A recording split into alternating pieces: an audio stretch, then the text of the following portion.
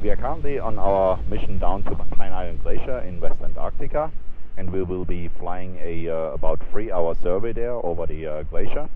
Pine Island Glacier is losing ice uh, very quickly, about 6 meters per year.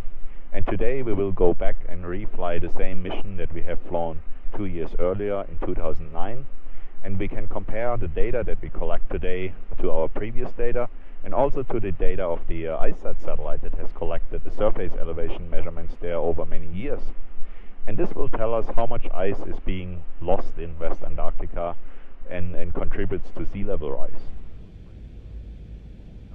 Two weeks ago we, we had a, uh, another mission over Pine Island Glacier and when looking out of the window of the aircraft we noticed a fairly large uh, crack in the uh, ice shelf and uh, I talked back to uh, colleagues in the US that uh, downloaded satellite images and they reported that this crack uh, has formed in uh, sometime between end of September or early October. These things happen on a semi-regular basis in both the, the, Arctic and the Antarctic, but it's still a fairly large event.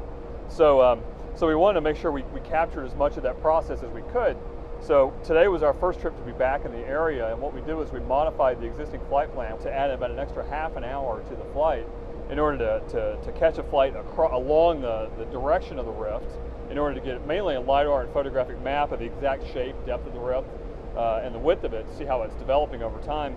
At the moment, the, the crack is about 80 meters wide. If the crack continues to propagate, it's about an, an iceberg that has an area of about 800 square kilometer that eventually will break off from the uh, Pine Island Glacier. Now, if we're lucky, we may get another chance to come back in this area later if weather and timing permits to, uh, to basically repeat what we just did today to see how the, how the rift has further developed as time goes on. A lot of times when you're in science, you, you don't get a chance to catch the big stories as they happen because you're not there at the right place at the right time. But this time we were. And these are discrete events in time. They process that take place over a period of just a few weeks. And, uh, and we just happened to be here at the right window in time to catch it.